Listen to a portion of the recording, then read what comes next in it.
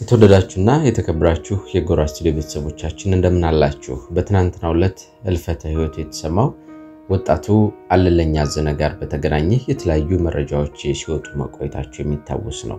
ከዚሁም ጋር የተገናኙ መረጃዎችን እኛም ቀደም ብለን ወደ እናንተ ስናደርስ ቆይተናል።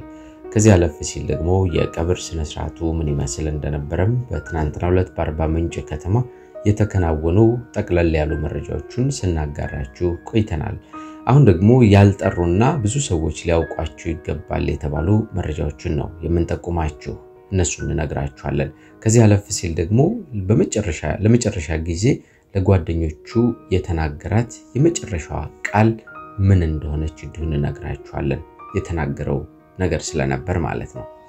ከሱ በፊት እንግዲህ እንደምታውቁት አለለኝ አዘነ በኢትዮጵያ ብሔራዊ ቡድን ተጫዋቾች መካከል አንዱ የሆነው በባህር ዳር ከነማ እግር ኳስ ክለብ ውስጥ እንዲሁ እየተጫወተ ከልጅነቱ ደግሞ በአርባ ምንጭ ከተማ በታዳጊዎች ክለብ ጀምሮ እስከ ትልቁ የዋናው የአርባ ምንጭ ከነማ አለፍ ሲል በሐዋሳ ከተማ ሌሎችንም የእግር ኳስ ቡድኖችን ተቀላቅሎ በርካታ ጊዜያትን ያሳለፈ ለሀገራችን በእግር ኳሱ ዘርፍ ከፍተኛ አስተዋጽኦ እያደረጉ ከሚገኙ ወጣቶችና ለወደፊትም ተስፋ ከተጣለባቸው ልጆች መካከል እንደነበር የምናስታውሰው ነው። በትናንትናው ዕለትም ሲነገሩ የቆዩ መረጃዎች እነዚህን ይመስሉ ነበር። ከዚያ በኋላ ደግሞ እንግዲህ ያለልኝ አዘነም እነዚህን ሁሉ አበርክቶች አድርጎ በባህር ዳር ከነማ የሚጫወትበት ክለብ ውስጥ ባጋጠመው የጉልበት ጉዳት ምክንያት ቤተሰቦቹ ጋር ሄዶ እንዲያሳልፍ በተሰጠው ፈቃድ መሰረት ወደ ቤተሰቦቹ ሄዶ እረፍት አድርጎ እያሳለፈ እንደነበር የምናስታውሰው ነው። ከዛ በፊት ደግሞ ባለትዳር ሆኖ ሚስት አግብቶ በተለይ ደግሞ በስርዓተ ቁርባን ጋብቻውን ፈጽሞ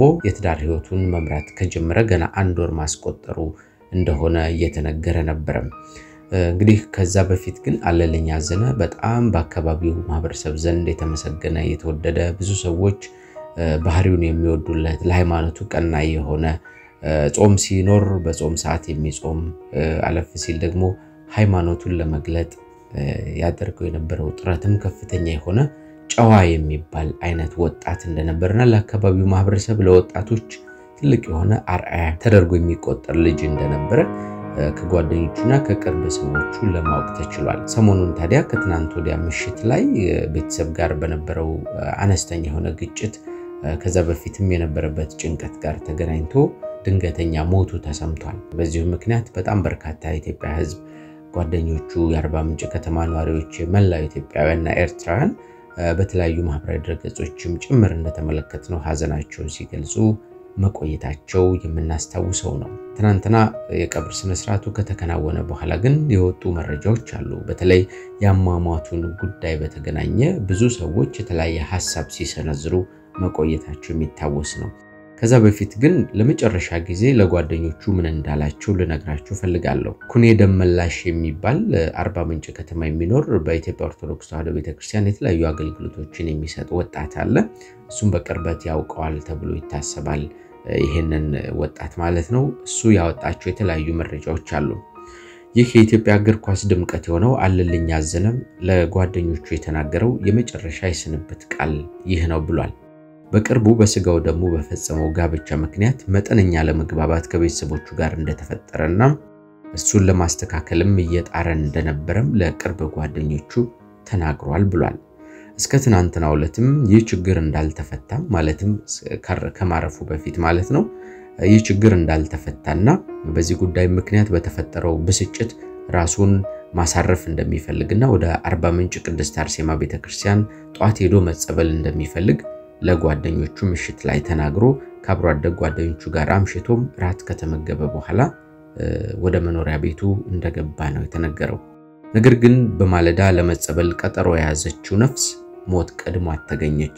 ወደ ቅድስት አርሴማ ጸበል አብሮ ሄዶ ሊጸበሉ ስልኩን የሚጠባበቁ የነበሩ ጓደኞቹም በውድቅት ምሽት ሞቱን ሊሰሙ ችለዋል ሲል ኩኔ በመረጃው ሊያካፍለን ችሏል ማለት ነው።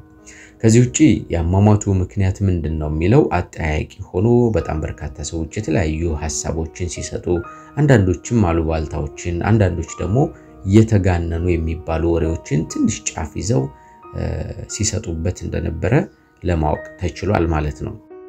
ይሄው ኩኔ ኩኔ ደመላሽ ከሞቱ ጋር በተገናኘ ሌላ መረጃ አካፍሎናል። ያሉባልታ ዜናዎች ባይሰራጩ መልካም ነው ሲል ይጀምራል። አለልኝ አዘነ ጋር በትዳር የተጣመረችው ባለቤቱ ከሌላ አካባቢ እንደመጣችና ቤተሰቡ ከትዳር አጋሩ ጋር ሲተዋወቁ የትዳር አጋሩን ቤተሰብ እንዳልወደደለት የሚዘግቡ ተደጋጋሚ አሉባልታዎችና ዜናዎች በተለያዩ ሚዲያዎችና የሚዲያ አካላት ሲሰራጩ ቆይተዋል። ሐቁ ግን እርሱም ይሁን የትዳር አጋሩ ለረዥም ጊዜ በፍቅረኝነት አብረው የነበሩ እዚሁ የአርባ ምንጭ ከተማ ልጆች ሲሆኑ ከሌላ ቦታ አክብቶ ያመጣት ሴት አይደለችም ሲል ሐሳቡን ሰጥቷል።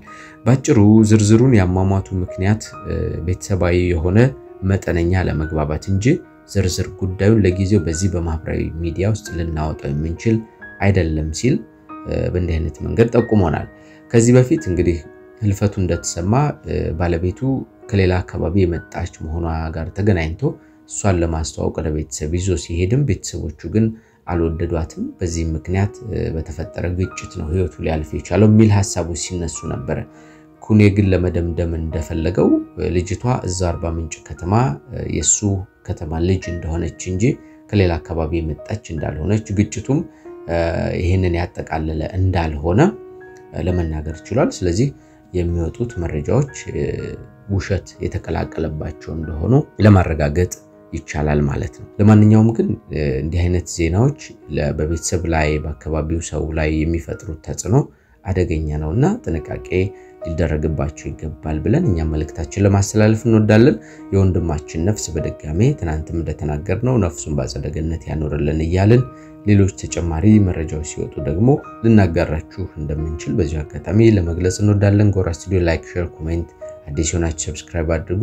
እንዲህ አይነት ወቅታዊ የሆኑ መረጃዎች ማህበራዊ እንዲሁም ሌሎች አይነት አዝናኝ መረጃዎችን እንዲሁም ደግሞ ቃለመጠይቆችን፣ ትረካዎችን ወደ እናንተ እናደርሳለን። ከኛ ጋር ከሆናችሁ ብዙ ትማራላችሁ፣ ትዝናናላችሁ፣ ቁም ነገርም ታገኛላችሁ።